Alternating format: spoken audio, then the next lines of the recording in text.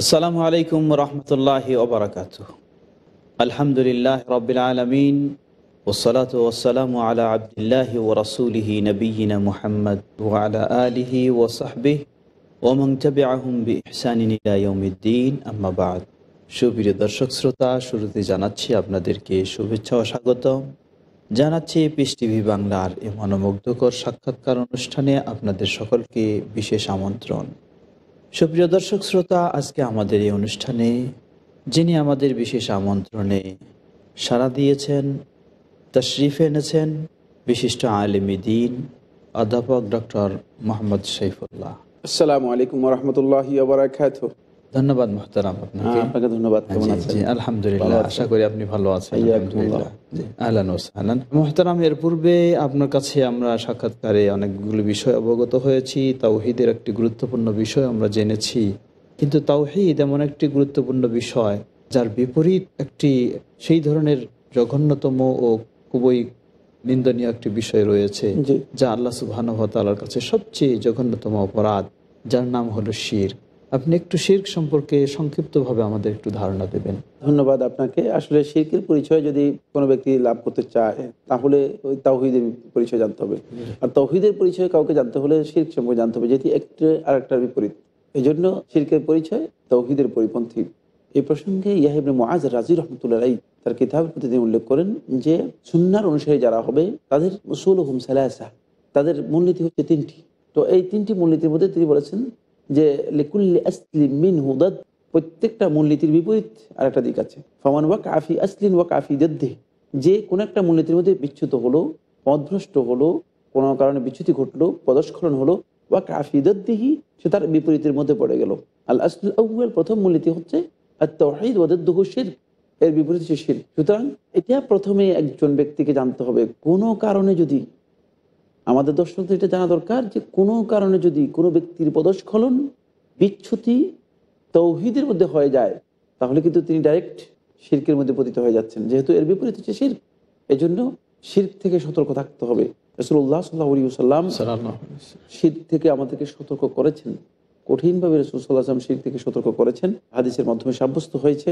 শেখুল ইসলাম মোহাম্মদ রসুল্লাহ তামিমি রহমতুল্লাহ উল্লেখ করেছেন। তিনি বলেছেন বিল্লাহি মিন খুব সংক্ষিপ্ত তারিফ হলেও কিন্তু অনেক দীর্ঘ আলোচনার বিষয় রয়েছে। যে তসফিয়াত গাইরিল্লাহি বিল্লাহ গাইরুল্লাহকে আল্লাহ রাব্বুল আলমিনের সাথে সমান করে দেয়া সমান পর্যায়ে নিয়ে আসা অথবা গাইরুল্লাহকে সমকক্ষ হিসেবে সাব্যস্ত করা ফিমা হুয়া মিন খাসাইসিহি যেই সমস্ত বিষয়গুলো আল্লাহ রাব্বুল আলমিনের বৈশিষ্ট্য এবং আল্লাহ রাব্বুল আলমিনের জন্য বিশেষিত এই সমস্ত ক্ষেত্রে কোনো ব্যক্তি যদি গাইরুল্লাহকে আল্লাহ রাবুল আলমীর সমপর্যায়ে নিয়ে আসে, অথবা আল্লাহ রাবুল আলমীর সমকক্ষ সাব্যস্ত করে, তাহলে সে ব্যক্তি আল্লাহ রবুল আলমিনের সাথে শির করল। একটি কথা এখানে বলতেই হবে, সেটা হলো এই, শির্কের ব্যাপারে আমাদের মধ্যে এক বিশাল বিভ্রাট রয়েছে। সেই বিভ্রাটটুকু হচ্ছে এই আমাদের সমাজের লোকেরা ধারণা করে থাকে যে, মূর্তি তৈরি করে, মূর্তির পূজা করা, এটা হচ্ছে শির্ক। ফলে আপনি যদি একজন কবর পূজারীকে জিজ্ঞেস করেন, যে ভাই শির করতেছেন বলে, আমি কখনো শির করি না। শির্ক করে কেন শির্ক করি না? এই কথা বলছেন? তাহলে বোঝা গেল শির্কের কনসেপ্টের মধ্যে তার দুর্ভ্রান্তি রয়েছে। মানে সে কিন্তু তার কাজকে শির্ক মনে করছে না অথচ সে মূর্তি পূজাকে কিন্তু শির্ক মনে করে। মানে এটি হলো প্রথম পয়েন্ট ঠিক তেমনি ভাবে একজন ব্যক্তি যদি ব্যক্তিকে আপনি দেখেন চিন্তা করছেন আপনি তাকে বলেন ভাই এই কাজটা শির্ক? কেন আপনি একজন মানুষকে চিন্তা করতেছেন? সে তো আপনার মতোই মানুষ। এবং আল্লাহর বান্দা আপনিও আল্লাহর বান্দা সেও আল্লাহর বান্দা। এর মধ্যে কোনো পার্থক্য তো নেই। সে তো আপনার কিছু করতে পারবে না। বলে না আমি কখনো শির্ক করি না। ওই শির্কের কনসেপ্টের মধ্যে তার বিভ্রান্তি রয়েছে। তাহলে এভাবে যারা আজকে কবর থেকে যারা ফয়েজ নেয় বলে যে আমরা কবর পূজা করি না। আমাদের সমাজের মধ্যে কিছু ভাই বন্ধু আছেন আমাদের খুব ঘনিষ্ঠ বন্ধু আমরা দেখি আমাদের সাথেই তাদের কিন্তু দুঃখজনক। তারা বলেন যে আমরা কবর পূজা করি না কিন্তু আমরা কবর থেকে ফয়েজ নিই। মানে কবরবাসী কবরস্থ ব্যক্তি তাকে কবর থেকে ফয়েজ দিতে পারে বরসুখ থেকে তার কি ক্ষমতা রয়েছে? যার এনকাতা আনহু আমল হু তার আমল বন্ধ হয়ে গিয়েছে। অথচ সে তাকে ফয়েজ দিচ্ছে কবর থেকে। কবর থেকে ফয়েজে বিশ্বাস? ভাই কবর থেকে ফয়েজ দিচ্ছেন? শির করতেছেন? না আমরা শির করি না। এই কারণ হচ্ছে একটাই। এই লোকগুলো কেন এই কথা বলে যে আমরা শির করি না? শির্কের কনসেপ্টকে তারা শির্কের এই ধারণাকে তারা সীমাবদ্ধ করে নিয়েছে একটি সুনির্দিষ্ট কাজের মধ্যে। এখানেই সবচেয়ে বড় বিভ্রান্তি হয়ে গেছে। মনে করছে যে এই কাজটাই শির্ক আর বাকি সব শির্ক নয়। শুধুমাত্র মূর্তি পূজা করলেই শির্ক হবে। শুধুমাত্র লাত, হবল, উজ্জা এগুলো পূজা করলেই শির্ক হবে। আর বাকিগুলো শির্ক হবে না। এখানেই সমস্যা হয়ে গেছে। এই জন্য শির্কের এই কনসেপ্ট ততক্ষণ পর্যন্ত বিদরিত হবে না। ততক্ষণ পর্যন্ত শির্কের ব্যাপারে আমাদের কাছে স্বচ্ছ এবং স্পষ্ট ধারণা তৈরি না হবে। এই ধারণা তৈরি হওয়ার জন্য শেখুল ইসলাম রহমতুল্লা আলাই এভাবে বলছেন যে, এটি হলো মূলত তাসবিয়া। এটা সিজদা নয়। তুমি সিজদার মধ্যে শিরকে সমান করে নিচ্ছ। অথচ আল্লাহ রাবুল আলমিনের সামাদিয়াতকে স্বীকার করতেছো না। আল্লাহ হুসামাদ আল্লাহ রাবুল আলম অমুখাপেক্ষে সেটা স্বীকার করতেছো না। আল্লাহ রাবুল আলমিন ওয়াহাদানিয়তকে স্বীকার করতেছো না। এই তাসবিয়াটুকু হচ্ছে মূলত শির। শুধুমাত্র সিজদার মধ্যে নয়, শুধুমাত্র মানে আল্লাহ রাবুল আলমিনের জন্য ইবাদত করার মধ্যে নয়, অথবা কোনো ব্যক্তির জন্য ইবাদত করার মধ্যে নয়। যেমন আমাদের সমাজের মধ্যে আপনি দেখবেন, যে সমস্ত ভাই বন্ধুরা দেখা যায় যে বিভিন্ন ধরনের তথাকথিত পীর, বুজুর্গ এদের আনুগত্য করছে। এবং এদের জন্য নিরঙ্কুশ আল্লাহ রাবুল আলমিনের জন্য যেগুলো সাব্যস্ত করার কথা, সেগুলো এদের জন্য সাব্যস্ত করে নিচ্ছে। এই ভাই বন্ধুগুলো এদেরকে যদি আপনি বলেন যে মানে ভাই, এগুলো যদি শির করতেছেন, তারা বলবে যে, না, আমরা এগুলো শির করতেছি না। কেন? একটি মাত্র কারণে, সেটা হলো তারা আসলে শির্কের পরিচয় সত্যিকারভাবে লাভ করতে পারেনি। এই জন্য আমি এখানে গুরুত্বপূর্ণ কয়েকটি পয়েন্ট কথা বলতে চাই। একটু বিষয় হচ্ছে, যেটি সেটা হলো শির্কের প্রকৃত পরিচয় জানতে হবে যে আল্লাহ রব্বুল আলমিনের যে সমস্ত হুকুক আছে তার যে সমস্ত ইখতিয়ারাত আফাল আছে মানে তার যে সমস্ত কাজ আছে অধিকার আছে রাইটস যেগুলো আছে আল্লাহ রবুল আলমীর জন্য সেগুলোর ক্ষেত্রে কোনো অবস্থাতেই গাইরুল্লাহকে আল্লাহ রাবুল আলমিনের পর্যায়ে আনা যাবে আনা যাবে না অথবা সমকক্ষ সাব্যস্ত করা যাবে না অথবা এগুলোর অধিকারী সাব্যস্ত করা যাবে না। তাহলে এগুলো এই তিনটি কাজ যদি কোনো ব্যক্তি বুঝে তাহলে সে ব্যক্তি মূলত শিরকের ব্যাপারে বিভ্রান্ত হতে পারবে না। জি। জি মহতারাম সুন্দরভাবে আপনি শেরকের পরিচয় তুলে ধরলেন। শেরক নিশ্চয়ই আমরা জানছি জঘন্যতম অপরাধ। যদি এর পরিণতি সম্পর্কে আপনি একটু কিছু বলতেন। এটি শুধু জঘন্যতম অপরাধ নয় বরং কোরআনে করিমে সুরা লোকমান তেরো নম্বর আয়তের মধ্যে মহিয়ান আল্লাহ সুবাহ তালা লোকমান হাকিম তিনি মুসা আলী ইসলাত ইসলামের সম্প্রদায়ের এক ব্যক্তি ছিলেন। তার হাইকমতের কারণে প্রজ্ঞার কারণে আল্লাহ সুবাহ তালা কোরআনে করিমের মধ্যে একটা সুরার মধ্যেই তার কথাগুলো কোট করেছেন আল্লাহ রাবুল আলমিন। তো মধ্যে তার সন্তানকে সে লক্ষ্য করে বলেছেন যে ইয়া বুনাইয়া লা তুশরিক বিল্লাহি ইন্না শিরকা লাযুলমুন আযীম। হে আমার বৎস লা তুশরিক বিল্লাহ আল্লাহ তাআলার সাথে তুমি শরীক করো না। আল্লাহ রাবুল আলমীর অংশীদার তুমি সাব্যস্ত করো না। কারণ ইন্না শিরকা লাযুলমুন আযীম। আযীম। কারণ শিরক হচ্ছে মহা জুলম। এই পৃথিবীর মধ্যে মূলত জুলম অনেক। তবে সবচেয়ে জঘন্যতম যে জুলম, সেটা হচ্ছে আল্লাহ রাবুল আলমিনের সাথে শির্ক সাব্যস্ত করা। এটা কেন এত জঘন্যতম হলো? এর কারণ, দুনিয়ার কোনো মানুষ যদি জুলম করে, তার এই জুলমটা সে হয়তো নিজের উপরে জুলুম করল নিজের হক নষ্ট করা মানে নিজের উপরে জুলুম করা। এবং এই ধরনের লোক অনেক আছে আল্লাহ জিনা আশরাফু আল্লাহ আনফুসিহীন নিজেদের উপরে যারা জুলুম করেছে, অত্যাচার করেছে, এই ধরনের জুলুম যদি কোনো ব্যক্তি করে তারা সে নিজের উপর জুলুম করল। তাহলে অন্যের কোনো ক্ষতি করল না। নিজের ক্ষতি করল। নিজের উপর জুলুম করল। তার এই জুলুমটা সীমাবদ্ধ জুলুম। শুধুমাত্র এর মাধ্যমে সে নিজেই ক্ষতিগ্রস্ত হলো। আর নিজের উপর জুলুম না করে যদি কোনো ব্যক্তি অন্যের উপর জুলুম করল, জালেমুন লেগাইরিহি অথবা জালেমুন লাগাইরিহি অন্যের উপর জুলুম করল। একটা ব্যক্তি আরেকজনের উপর জুলুম করতে পারে, অন্যায়ভাবে তার হক অত্যাসত করতে পারে, তার অধিকার নষ্ট করতে পারে, তার প্রতি বিরূপ মন্তব্য করে তার ক্ষতি করার চেষ্টা করতে পারে ইত্যাদি অনেক জুলুম। সে জুলুমটুকু করল। আরেকজনের উপর। আবার এর মধ্যে থার্ড পার্সন আরেকজন আছে যে নিজের উপরে জুলুম করল অন্যের উপরে জুলুম করল। এটাও হতে পারে। কারণ কোনো ব্যক্তি তার অধিকারের সাথে অন্যের অধিকার রয়েছে।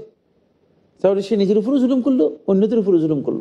মানে এইভাবে পৃথিবীতে জুলুম সুসম্পন্ন হয়ে থাকে কিন্তু কোনো ব্যক্তি যদি আল্লাহ রাব্বুল আলমিনের সাথে শির করে তাহলে সেই ব্যক্তি কুল মাখলুকাতের উপর জুলুম করল। যেহেতু আল্লাহ রাব্বুল আলমিনের হক ওটা মাখলুকাতের উপর রয়েছে। গোটা মাখলুকাতের রব তিনি।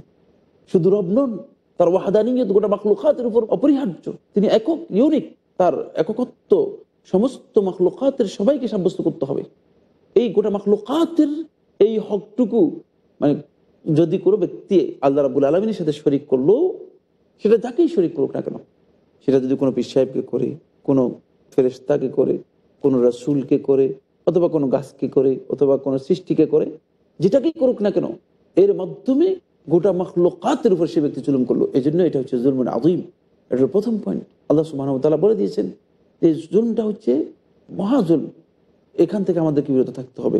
এরপরে মহিয়ান আল্লাহ সুবাহানুতালা জুলমের ব্যাপারে এর ভয়াল পরিণতি কোরআন করিমের অনেকগুলো আয়াতের মধ্যে বলেছেন। আল্লাহ রাবুল আলমিন তার রসুল ইসলামকে লক্ষ্য করে বলছেন, এ খেতাব মানে স্বাভাবিকভাবে আমাদের জন্য নয়। কোরআন মধ্যে খেতাব এসেছে রসুল্লাহ জন্য। লাইন আশাক তালাই আহবাতন না আমার ওয়ালাতে কুনান্না মিনাল খসরিন। আপনি যদি শিরক করেন, তাহলে আপনার আমল সমূহ বরবাদ হয়ে যাবে এবং ওয়ালাতে কুনান্না মিনাল খসরিন, আপনি ক্ষতিগ্রস্তদের মধ্যে অন্তর্ভুক্ত হয়ে যাবেন। এটা বলা হচ্ছে রসুলকে। এরপরে সুরা আমের মধ্যে আল্লাহ সুবাহ তালা সমস্ত নবীদের কথা উল্লেখ করে বলতেছেন যদি তারা শিরকে লিপ্ত হয়, আল্লাহ রাব্বুল আলামিনের সাথে শিরক করে, লাহাবিতা আনহুম মা কানু তাহলে তাদের যত আমল আছে সবগুলো আল্লাহ রাব্বুল আলামিন বরবাদ করে দিবেন। হ্যাঁ ধন্যবাদ মহতারাম আপনার কাছে আরও আবার ফিরে আসব আমরা। এই পর্যায়ে ছোট্ট একটু বিরতির দিকে যাচ্ছি। সুপ্রিয় দর্শক শ্রোতা এ পর্যায়ে আমরা ছোট্ট একটু বিরতি নিতে যাচ্ছি। আশা করি আপনার ধৈর্য সহকারে অপেক্ষা করবেন। বিরতির পরে আবার আমরা ফিরে আসব। আসসালামু আলাইকুম রহমতুল্লাহি ওবরাকাত আসসালামু আলাইকুম রহমতুল্লাহ ওবরাকাত সুপ্রিয় দর্শক শ্রোতা ছোট্ট বিরতির পর আবার আমরা আপনাদের সামনে ফিরে এসেছি। বিরতির পূর্বে মোহতারামের সাক্ষাৎ থেকে আমরা অবগত হচ্ছিলাম একটি বিষয়, যেটি হচ্ছে শির, সবচেয়ে ভয়াবহ এবং জঘন্যতম অপরাধ। যার অপরাধের পরিচয়টাও তিনি তুলে ধরেছেন এবং এর ভয়াবহ পরিণতি সম্পর্কেও তিনি বর্ণনা দিচ্ছিলেন। জি, মোহতারাম। হ্যাঁ আমরা বলতেছিলাম যে শিরকের আসলে যে ভয়াল পরিণতি রয়েছে, আল্লাহ রবুল আলমিন কোরআনে করিমের অনেকগুলো আয়াতের মধ্যে বিষয়টি উল্লেখ করেছেন। একটি আয়াতের মধ্যে আল্লাহ সুবাহ তাআলা বলেছেন মাইয়ুশিক বিল্লাহি ফাকাদ ইফতারা ইসমান আযীমা। যে আল্লাহ রাব্বুল আলামিনের সাথে শিরক করল, সে সত্যিকার অর্থে মহা গুনাহ মানে বড় ধরনের গুনাহ সে ব্যক্তি অর্জন করল সে বড় গুনার মধ্যে নিজেকে নিমজ্জিত করল। এই জন্য রসুল্লাহ সাল্লাহ আলী সাল্লাম কখনো কখনো বলেছেন আকবরুল কাবায়ের আলা উনাব্বিউকুম বে আকবরিল কাবায়ের তোমাদেরকে কি আমি সংবাদ দিব না জানাব না? সবচেয়ে বড় কবিরা গুনাহ মানে এটি সবচেয়ে বড় কবিরা গুণা এবং আকবরুল কাবাই রসুসলাম আখ্যায়িত করেছেন। সেটার মধ্যে রসুসলাম বলছেন আলিস শাকুবিল্লাহ আল্লাহর সাথে শির করা। তাই কোনো বান্ধা যদি আল্লাহ রাবুল আলমীর সাথে শির করে সে মূলত তার নিজের সমস্ত আমলগুলো সে বরবাদ করে দিল। সে ওই ব্যক্তির মতো হয়ে গেল যার আল্লাহ রাবুল আলমীর জন্য কোনো ভালো কাজ, কোনো পুণ্যের কাজ, কোনো সবের কাজ যে করেনি তার মতোই হয়ে গেল। আল্লাহ সুবাহ তালা কোরআন করিমের আরেকটি আয়াতের মধ্যে এই বিষয়টি আরও এভাবে স্পষ্ট করেছেন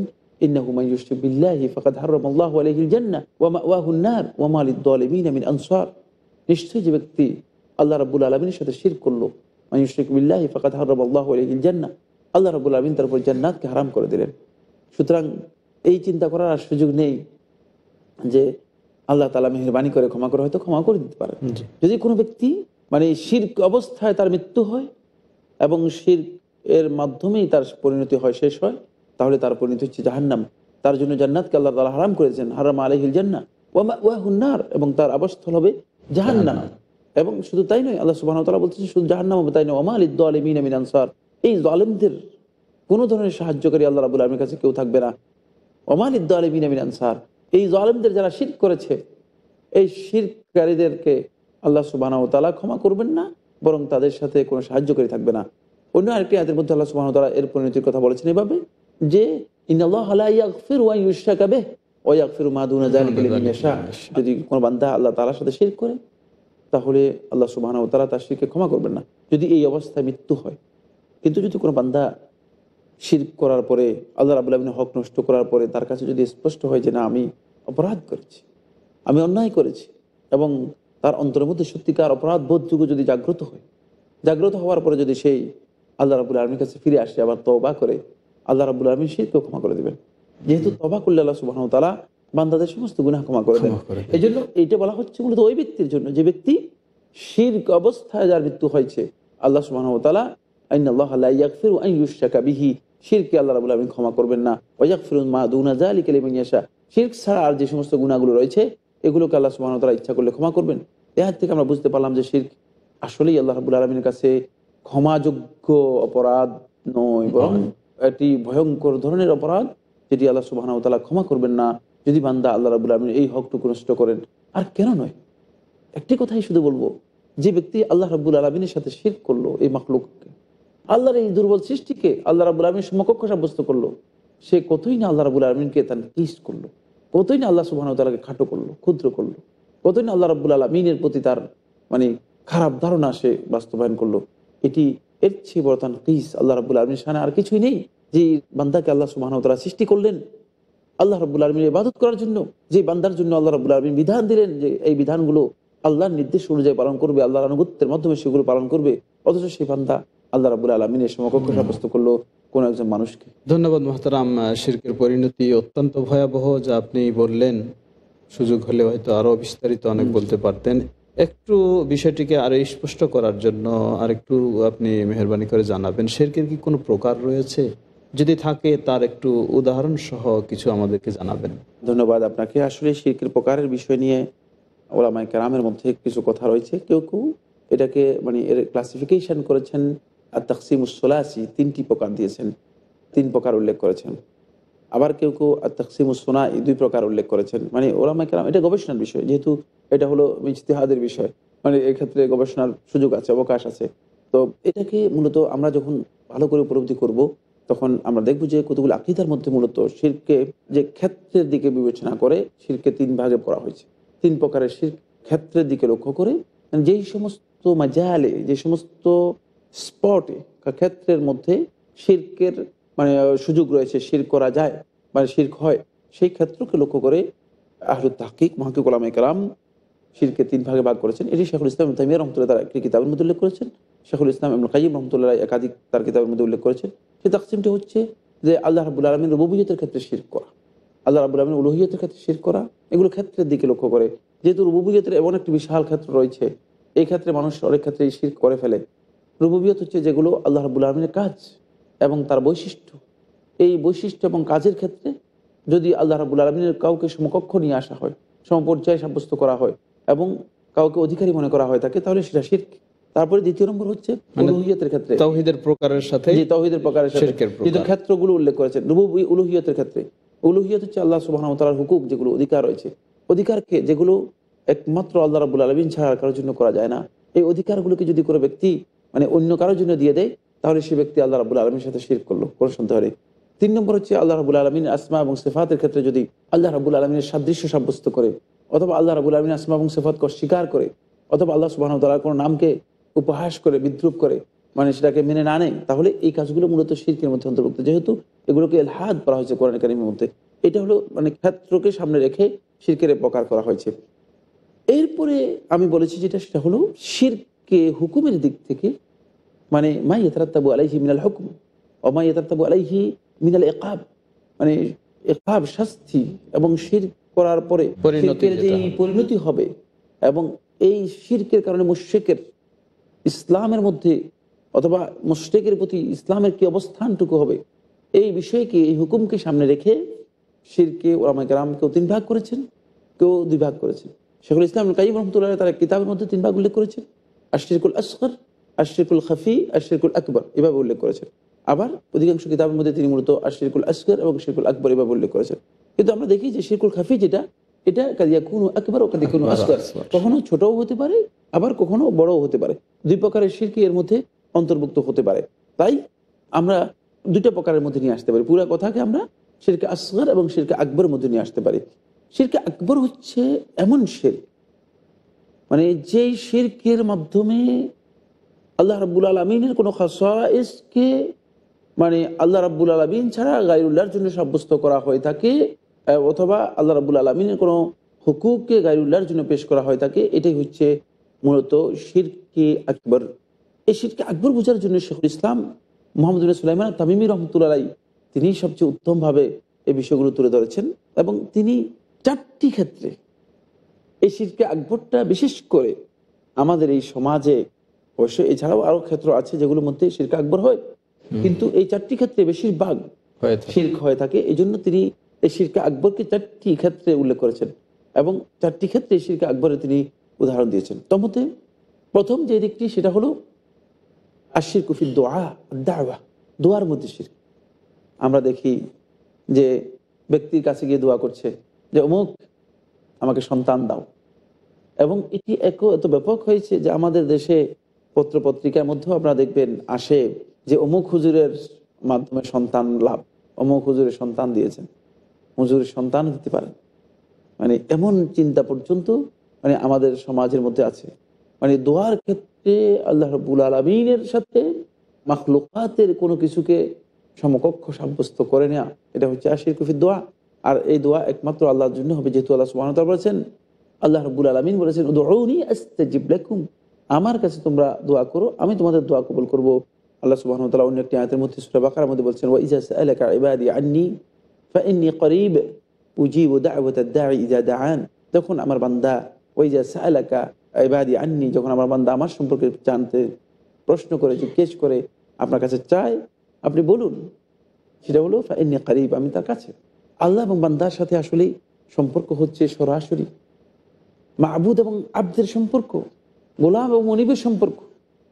এই সম্পর্কের মাঝখানে যে কোনো ব্যক্তি যদি ঢুকে যায়, তাহলে সে ব্যক্তি মূলত এই সম্পর্ককে বিনষ্ট করে দেবে। আর সেটাই হচ্ছে মূলত দোয়া এর ক্ষেত্রে যদি কোনো ব্যক্তি এসে মাঝখানে ঢুকে যায়, তাহলে সে কি চায়? তার কাছে কি আদৌ কি কোনো দোয়া কবুল করার ক্ষমতা আছে? তার কাছে কোনো ক্ষমতা নেই। বরং রসুল্লাহ সাল্লাহ ইসলাম আমরা দেখি কোরআনের মাধ্যমে কথা স্পষ্ট করে দিয়েছে। একেবারে স্পষ্ট বক্তব্য। আপনি বলুন লা আমলিকু লিনাফসি আমি নিজের জন্য কোনো কল্যাণ অকল্যাণ কোনোটাই সাধন করার ক্ষমতা রাখি না। যদি নিজের জন্য কল্যাণ এবং অকল্যাণের ক্ষমতা না রাখে রসুল সাল্লাহ ইসলাম অন্য কোনো ব্যক্তির জন্য। এটা আদৌ হতে পারে না। রসুল্লাহ সাল্লাম স্পষ্ট করে দিয়েছেন যাতে করে উম্মাতের মধ্যে কেউ এই বিভ্রান্তির মধ্যে নিমজ্জিত না হয়, এই বিভ্রান্তির মধ্যে পা না বাড়ায় যে আমি আল্লাহ রাবুল আলমিনের সাথে কোনো ব্যক্তিকে দোয়া করব। এটি যাতে না করে। এই জন্য অন্য আয়াতের মধ্যে বলছেন, কল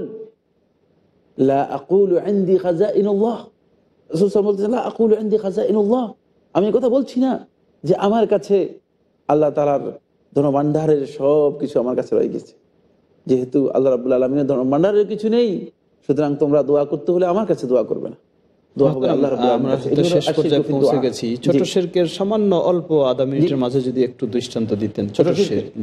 আমরা দেখি যে ছোট শির্ক হচ্ছে যে মূলত শিরক দিকে বড় দিকে পৌঁছিয়ে দেয় বা নিয়ে যায়। এর মধ্যে আমরা দেখতে পাই যে আল হারেফ বেগারিল্লাহ গাইরুল্লাহ নামে কসম করা গাইরুল্লাহ নামে শপথ করা। তারপরে আমাদের সমাজের মধ্যে একটা ব্যাপক শিরক আছে সেটা তাবিজ দেওয়া মনে করে যে তাবিজ দিলাম ওই যে তাবিজটা দেওয়ার পরে আলহামদুলিল্লাহ একটু মানে সুস্থতা বোধ করতেছি। বাবা, তাবিজের কোনো ক্ষমতা নেই। যে তাবিজ মানুষদেরকে সুস্থ করতে পারে। আল্লাহ রাবুল আলমিন বলে দিয়েছেন তিনি সুস্থ করে থাকেন। অথচ এর উল্টা, ছোট শিরকের একটা শিরক হচ্ছে, যখন আমরা ইবাদত করি, আমল করি, তখন কেন জানি আমাদের ইন্টেনশনটা চেঞ্জ হয়ে মানুষের উদ্দেশ্যে হয়ে যায়। লোক দেখানোর উদ্দেশ্য হয়ে যায় প্রদর্শন ইচ্ছা হয়ে যায়, অথবা শ্রবণ ইচ্ছা উঠে, হয়ে যায়। ফলে মনে করি যে, না, এটা আমার মানুষ শুনুক। একজন, আমি একজন আলোচক। নিজের মধ্যে একটা প্রদর্শন ইচ্ছা অথবা শ্রবণ ইচ্ছা এসে যায়। এগুলো ধন্যবাদ মোহতারাম আপনি খুব সুন্দর বর্ণনা দিচ্ছিলেন কিন্তু দুঃখিত আমাদের সময় শেষ হয়ে গেছে। জাকুমুল্লাহ সুপ্রিয় দর্শক শ্রোতা আপনারা আশা করি অত্যন্ত মনোযোগ সহকারে আমাদের এই প্রোগ্রাম উপলব্ধি করছিলেন উপভোগ করছিলেন। আল্লাহ সুবাহ এই থেকে আমাদের সকলকে উপকৃত হওয়ার তৌফিক দান করুন। আজকে আমরা এখানে বিদায় নিচ্ছি। ও আখরি দাওয়ানা আলহামদুলিল্লাহ রবিল আলমিন। আসসালামু আলাইকুম রহমতুল্লাহি ওবরাকাতু